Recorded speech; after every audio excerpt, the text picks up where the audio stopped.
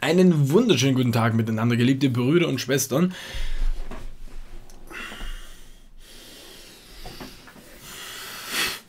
Nun denn, fangen wir mal an mit dem äh, wichtigsten Thema jetzt. Und zwar möchte ich etwas Neues rausbringen. Und zwar einen Merch mit dem Design, das ich jetzt mal von euch erstellen lasse.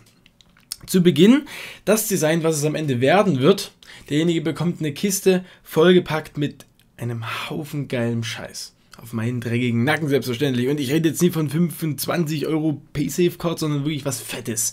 Was richtig Fettes. Das ist schon mal klar. Also, ich zeige euch mal, was es geht. Wer Instagram hat und mich dort verfolgt, der hat das schon gesehen. Gibt es noch was zu fressen? Hey, wir gehen jetzt. Heute wird Ihr kennt das bestimmt. Das war Männertag äh, letztes Jahr und da habe ich das äh, rumgeschrien im Bahnhof. Und daraus möchte ich jetzt im Prinzip ähm, einfach so ein Motiv machen. Und äh, was ich äh, brauche, ist ein PNG, also so ein Bild, was halt ausgeschnitten ist, wo man den Hintergrund nicht sieht. Ihr solltet das schon verstehen. Ähm, was so ungefähr aussieht. Das jetzt zum Beispiel ist vom Mediamarkt Mitarbeiter. es wäre gut, wenn ihr in den E-Mails ähm, äh, E-Mail-Adresse steht nochmal in der Beschreibung, äh, wo die äh, Bilder hin sollen, bitte. Äh, eure Instagram-Namen mit dazu schreibt, damit ich auch weiß, äh, ja, wen ich da markieren äh, kann auf Instagram. So zum Beispiel finde ich schon ganz geil. Heute wird sich flüssig ernährt, so dann dieses flüssig hier im Bier-Design. So ein Bild von mir, was so cartoonmäßig umgestaltet wurde, das ist schon mal ganz geil. Drei verschiedene Schriftarten. das fand ich auch ziemlich nice. Das ist jetzt vom Sven. Ähm, das ist ja komplett gezeichnet. Das bin halt offensichtlich ich mit dem Corona. Das ist äh, bisher sogar eigentlich mit meinem Favorit. Das ist schon richtig geil. Äh, vielleicht wären es auch mehrere Designs am Ende, mal gucken. Aber äh, wir stimmen das auf jeden Fall ab. Heute wird sich flüssig ernährt. Gut, die Schrift ist jetzt nie krass, aber die Grafik an sich, die finde ich halt geil. Die ist mega. Sowas äh, feiere ich übelst. Grüße gehen raus an Sven. Ähm, sowas bitte nicht, damit kann ich nichts anfangen. Also wenn, dann brauche ich nur den Teil hier als PNG. So, also das mit dem T-Shirt drumherum, danke, für, wie, dass du mir sagst, wie es aussieht dann im Endeffekt. Aber ähm, das bringt mir halt nichts. Das ist jetzt mein Gesicht auf Sven äh, Spahns Körper gemacht. Das ist zum Beispiel auch Mist.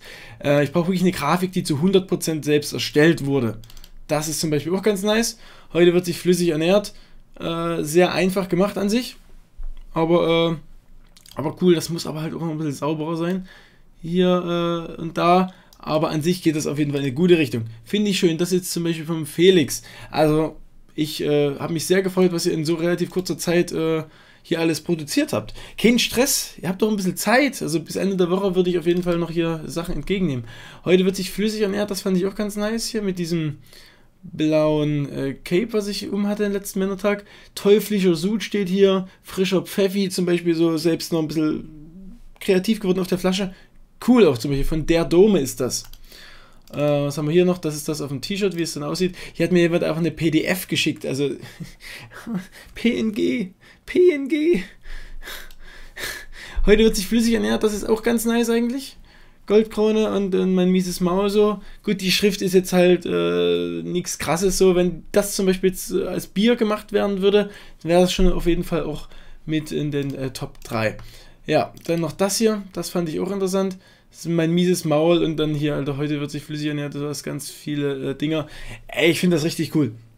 Äh, was alles so die Woche jetzt zusammenkommt, also ich, ich habe noch mehr jetzt bekommen, mehr E-Mails, aber ich habe jetzt nur mal die als Beispiel rausgesucht. Äh, okay. Ähm, so. ähm, alles, was zusammenkommt, äh, werde ich dann die zehn besten, also was ich als Bestes äh, sehe, als äh, sauberstes, hochwertigstes, was am Ende auch wirklich auf dem T-Shirt getragen werden könnte, ähm, raussuchen und auf Instagram posten und dann äh, könnt ihr sozusagen äh, voten, was eure Top 2 oder Top 3 sind und äh, dann mache ich dann nochmal so eine Endentscheidung und dann schauen wir mal, was es wird. Aber ich finde das richtig cool. Bitte eure Instagram-Namen nicht vergessen, weil ich will euch natürlich auch auf euren Sachen dann markieren am Ende und ich finde es echt geil, äh, wie viele dabei sind hier von euch, die da wirklich ein bisschen was können und, und schon die Sachen geschickt haben. Ey, ich finde das übelst geil. Sehr, sehr schön. Hab mich richtig gefreut, dass die Beteiligung äh, so schnell, so rege war. Ich weiß, das Video wird heute ein bisschen länger, aber ist ja nicht so schlimm. Ähm, ich habe mir ein paar Themen wieder aufgeschrieben auf meinen ähm, wunderschönen Blog und zwar habe ich mich sehr gefreut, dass ich die Woche Abzweigdeckel bei Papa Platte gesehen habe in seinem Livestream. Ihr habt äh, dem Mann sowas geschickt, beziehungsweise seine Fans haben ihm das geschickt, die mal meine Videos gesehen haben. Und das hat mich sehr gefreut. Grundgesetze wurden an Montana Black geschickt, da habe ich mir auch eingeschissen vor Lachen. Der hat türkische Grundgesetze äh, geschickt bekommen, hat er in der Story gezeigt. Köstlich. Einfach nur köstlich. Knossi hat ja auch in der Vergangenheit ähnliche Produkte geschickt bekommen.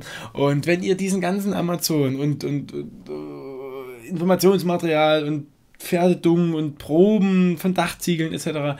Wahnsinn. Bei anderen Streamern und YouTubern, die auch Fanpost entgegennehmen, noch etabliert, Alter. Ey, wir, wir schaffen etwas Bleibendes, wir schaffen etwas ganz, ganz Großes zusammen hier. Und das finde ich einfach nur geil. Äh, es sind auch wirklich fast alle jeden Tag Produkte bei Amazon ausverkauft. Eimer sind ausverkauft. So viele andere Produkte sind einfach komplett ausverkauft, die auch einfach gar nicht mehr im Sortiment sind, beziehungsweise da steht da, da ein, zwei Monate Lieferzeit. Das ist krank.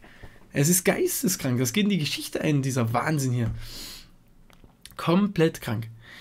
Ja, äh, nee, ey, wunderschön mit euch. Verdammt geile Community.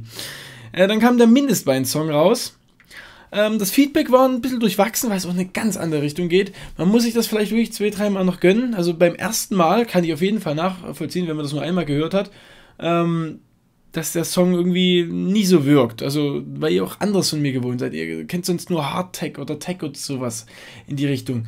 Ähm, oder halt mal, mal so harter Rap. Aber das ging ja so in die seichte Trap-Richtung mit ein paar Adlibs und so. Also, paar Adlibs. Ähm, der Song wurde übrigens vor, vor, mehr als zwei Jahren aufgenommen. Das Musikvideo haben wir letzten Herbst aufgenommen und äh, jetzt kommt es erst raus. Ähm, gönnt euch das nochmal. Lasst es nochmal auf euch wirken. Äh, auf jeden Fall nochmal riesengroßes Dankeschön an das geile Musikvideo. Das hat der Ronny geschnitten und äh, die anderen Credits sind ja auch dort in der Beschreibung. Äh, ich feiere das Musikvideo übelst. Gerade mit diesen FPV-Drohnenaufnahmen und so. Geiles Ding. Ähm, wenn ihr noch ein bisschen Welle drunter macht, Kommentare zu Spam etc., wer es noch nie gesehen hat, würde ich mich auf jeden Fall freuen. Ähm, ja, die 100.000 müssen wir noch knacken, sonst kann man sich da hier gar nicht blicken lassen als Musiker heutzutage.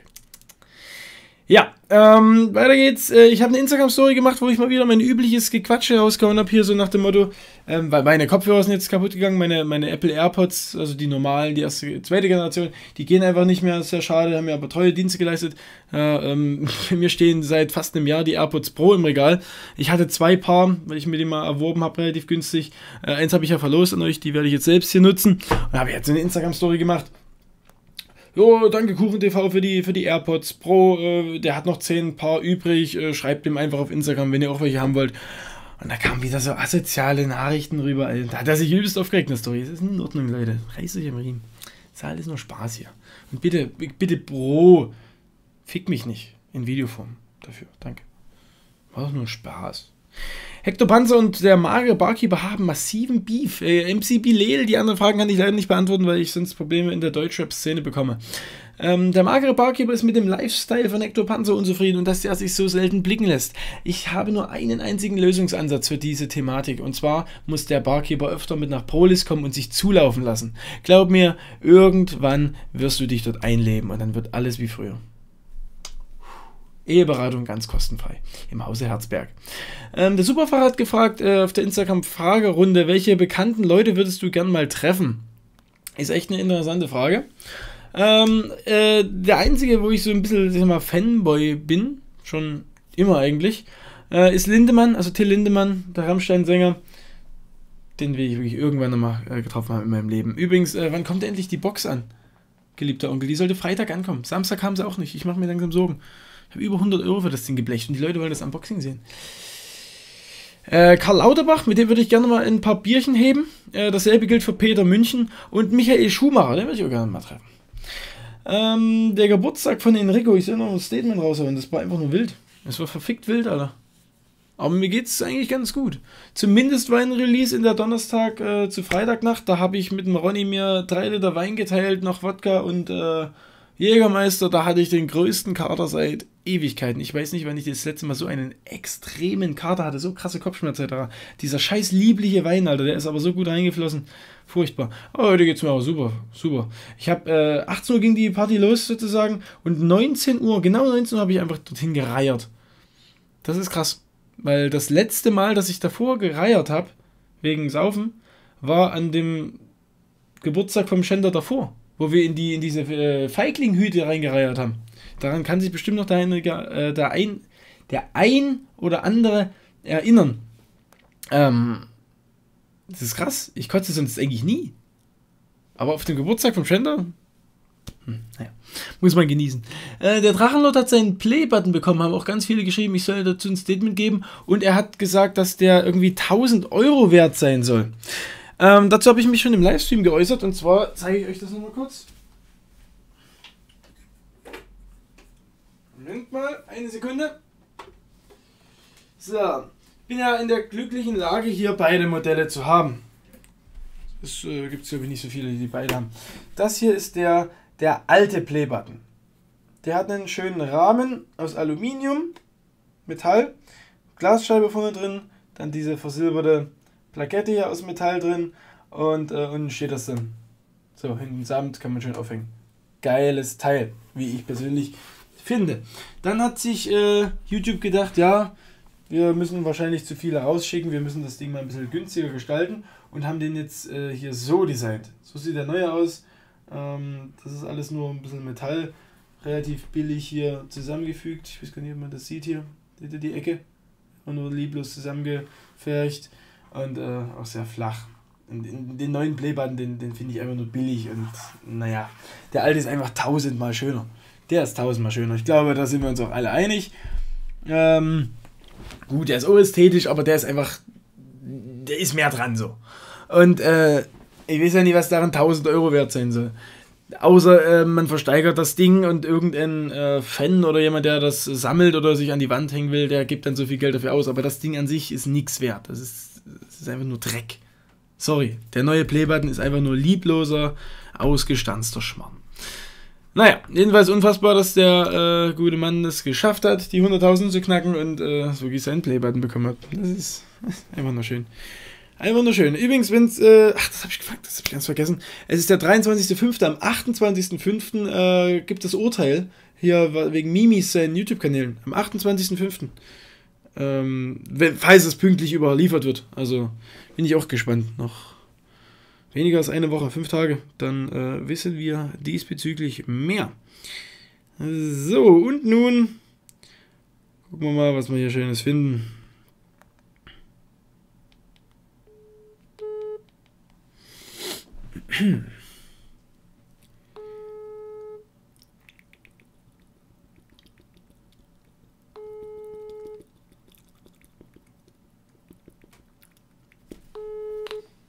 Ihr Gesprächspartner.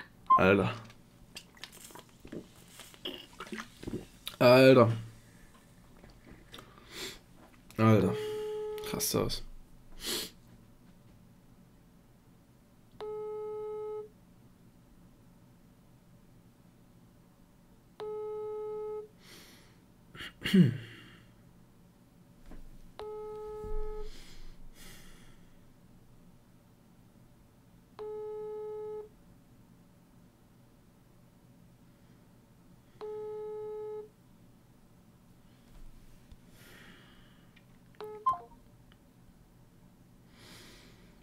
Naja, ist halt manchmal nicht so einfach.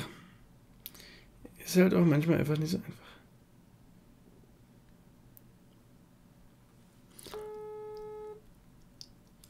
Oh, was hab ich denn schon wieder im Ohr hier?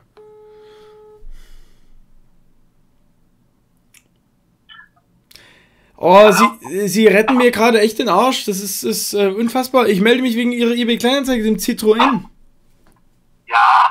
Ist das gute Stück noch zu haben? äh, Sie rufen da wegen dem C1, oder? Ja. Ja, der ist noch zu haben, ja? Äh, Das ist ja audiotechnisch unter aller Kanone, Bruder. Hallo? Was meinen Sie? Ich, äh, befinden Sie sich in einer Badewanne? Nein, nix Badewanne, Junge. Auto, im Auto, ich bin im Auto. Was? Freisprechanlage. Ja, ja, ja, ja, ganz, ganz ruhig, Enrico. Ähm, ich ich habe gestern auf dem Geburtstag vom Schänder einfach mein Handy dort verloren. Äh, hast du es zufällig gefunden? Ja, klar doch. Ja, ist bei mir, komm holen. Bring ja 500 Euro mit. Das kriegst du nicht. Sie haben einen bayerischen Dialekt. Ein Dialekt, ja, ja. Das ist, meine Gehörgänge bluten. Naja, gut, lass die Putze. Einmal noch Fickel aus der raus. Ich, ich bin nicht in der Lage, auch nur ein Wort zu, zu verstehen, was Sie äußern. Ficken, blasen, lecken. Wie, was?